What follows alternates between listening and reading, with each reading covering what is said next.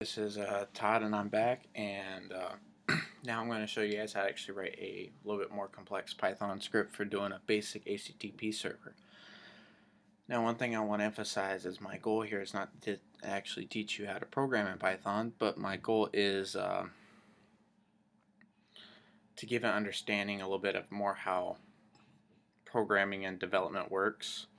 Um, understand the back end. Now these tutorials would be good for someone who knows like uh, basic Python but wants to learn how to start working with uh, libraries because we're going to need a couple libraries for this. Um, I plan on making this into two sections.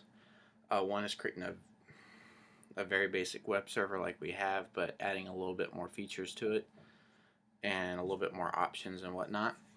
And the second part is going to be about uh, designing it more towards server use per se. Alright, so let's get started. Once again, I'm using uh, Python 2.7 and my favorite little tool here, here is uh, idle. But I'll be honest, I don't particularly care for the shell. This is what I want. It's a little window for me to create a script in. Alright, so Everything is looked at as a file. HTTP, HTTP server allows external access to files externally, uh, not exact, you know, not from your computer. Multiple computers can access it. Uh, we have a server and a client. This is going to be dealing with the server side. A client. For this, the client, all they need is an internet connection and a web browser. And to know the IP address unless you forward the ports on your router and direct a domain name to your IP address on the proper port. So, here we go. First thing we're going to need to do is import simple HTTP server, import socket server, import base HTTP Hold on, I think I misspelled that. Base HTTP server. Alright. Oh, we're also going to need uh, import OS. Uh, these libraries, what they are, is they're basically uh, Python programs with functions built in. If you don't program, simply what it means is this gives you more options to play with. It makes tasks easier to do. So instead of literally having to go through, you know, you can take, if you try not to use libraries, libraries um, to create a server would probably take a couple thousand lines. By using these pre-built libraries that Python and people make, it condenses the code because there's no point in, it's basically like reinventing the wheel. These libraries are created for you to use so that way you don't actually have to go through and manually program everything. So you don't want to reinvent the wheels. Use the libraries if you can because they make things way easier and way quicker. Alright, so after we import everything, we're going to start by supplying our host name. You don't really have to do this step. This program will work without it.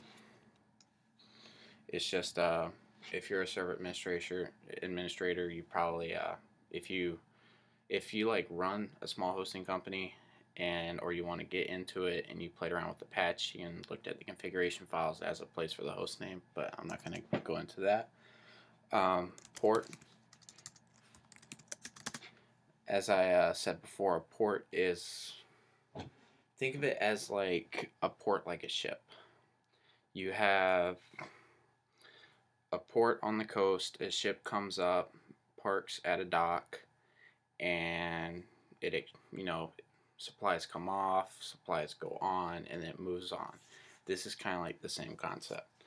The port is where traffic's going to travel in and out.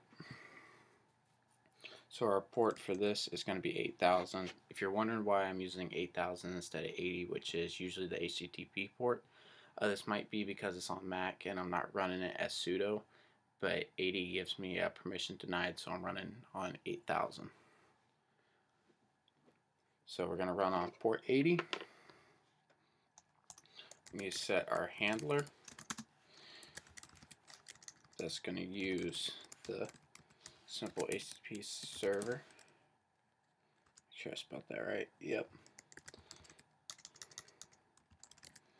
Simple HTTP request handler.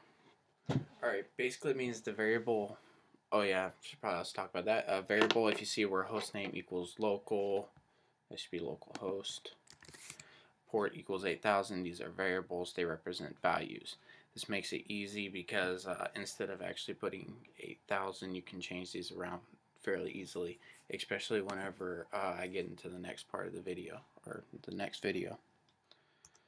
So we have our handler set up. Now this is where we're going to use the, the OS library. I'll talk about this in one second. Hopefully I got this right. desktop slash server. Alright, if you've ever used, you know, a regular terminal or command prompt in Windows, you do cd, it changes the directory. This is the same thing for the programming language. Um, the problem with uh, the simple server that I'm not really going to go into is the fact that you have to be you have to run it out of the out of the directory that you want it to be a server. So whatever the server is, that's what you have to run the program out of per se. So you have to change the directory. So we're going to change it to users Todd Martin desktop server. So whenever I run it, I don't have to be in that directory per se. Python's going to run it in the directory for me without me actually being in it. I hope that makes sense. But hopefully you'll see what I'm getting to. Alright. So we've changed our direct directory. Um, yeah. Yeah. What are you doing? Okay, I think I have to start that over now. I forgot you wanted to do your own laundry, so I just did it. Okay, you just leave it right there. Hang it up because that doesn't belong on the floor.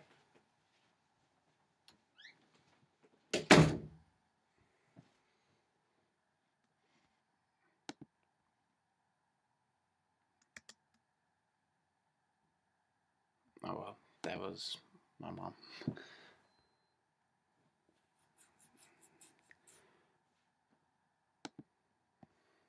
All right.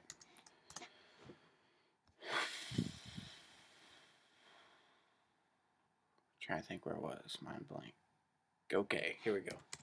HTTPD equals simple HTTP server dot simple HTTP Oh, wrong one. It's going to be socket server, which is where this library is going to come into play. Socket server dot TCP server host name port handler. All right. What it's simply going to do is uh, HTTPD is going to call up inside of the socket server library the TCP server function. Um, we're going to be working with TCP. Um, you can look, you can Google search and find out what TCP means. Uh, you, you got two main types. You have TCP and UDP.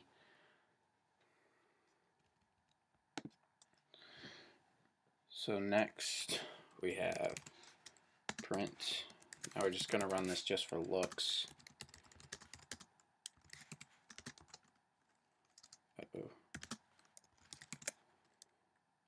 And what this is simply going to say is it's going to output servers running on our port. And by putting the comma space in our port variable, it's going to list the port, which will be 8000. This next line is really, really important. And what that means is um, is basically going to call it this variable and tell it to run this forever until you stop it. All right. So here we go. Change our directory to desktop. Change it to add my file. That would. Hold on a second. I need to save this in my proper area development blog webserve.py which whenever you're creating Python scripts it's put .py or I think it's .pyw and .pyw is more for Windows we'll save it change directory to yeah I'm lazy alright python webserve.py uh-oh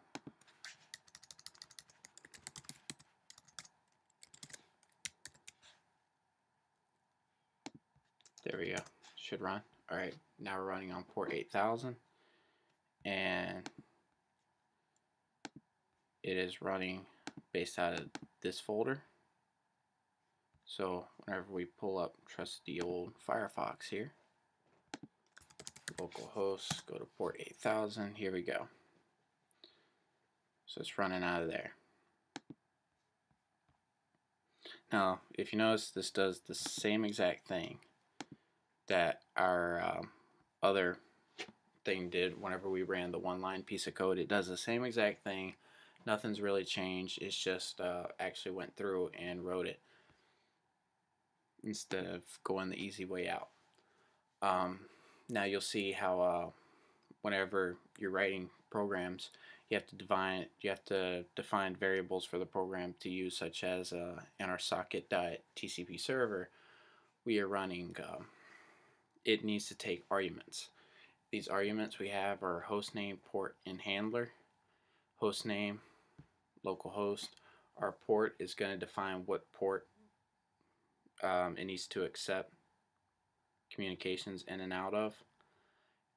And uh, our handler is just as it says, simple HTTP server, simple HTTP request handler. So it handles the request that the server gets. Um, once again the os.chdir that's simply to change the directory so that way it will run out of users Todd Martin desktop server you can make that whatever directory you wish also another quick note this is a cross-platform it's cross-platform so if you're running this in Windows everything's going to remain the same except your directory path here instead it'll be what is it like C uh, they use those. Save programs. So that's all that really changes. So this will run on Linux, Mac. If, as long as you have Python, this thing will run. So that's it for this. In the next video, we're going to go into making this a little bit easier for the user of the actual program to use. Make this easier for them. That's it.